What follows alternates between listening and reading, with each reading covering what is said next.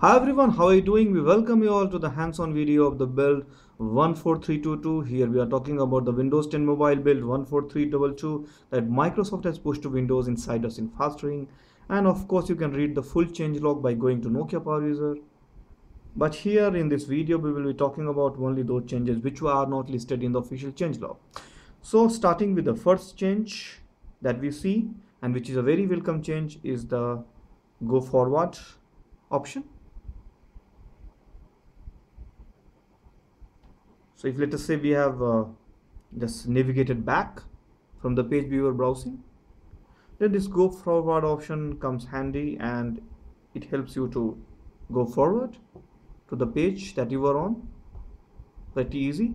And uh, I mean this is surprising that this option was missing from Windows 10 mobile and people would uh, really appreciate if Microsoft can uh, give that swipe option swipe forward or swipe backward. That was there on internet explorer.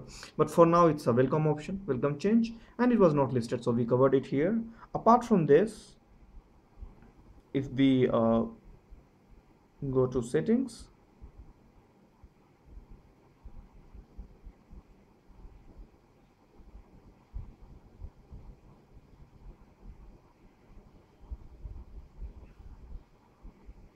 so here uh, in sim settings okay somehow I think it's missing here but perhaps we can show it show it on uh, other device. Okay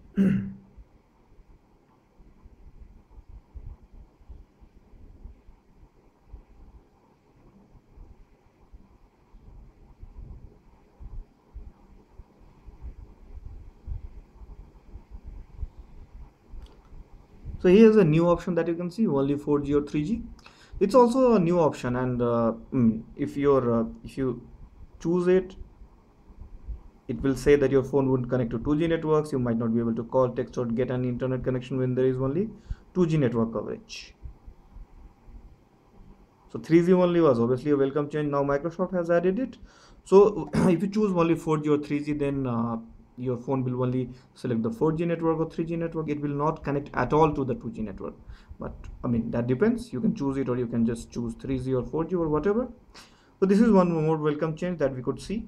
And now coming to one more change which is a uh, obviously which was not uh, available earlier on any of the other builds as as far as we know.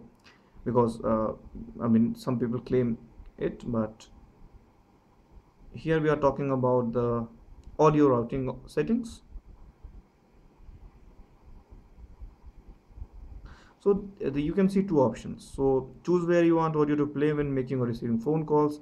It gives you three options automatic bluetooth the device and phone speaker.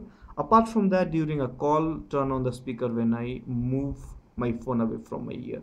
So this is a very uh, welcome feature or something which i think was there earlier in the gestures beta but later the gestures beta is not now able to uh, get installed on windows 10 mobile.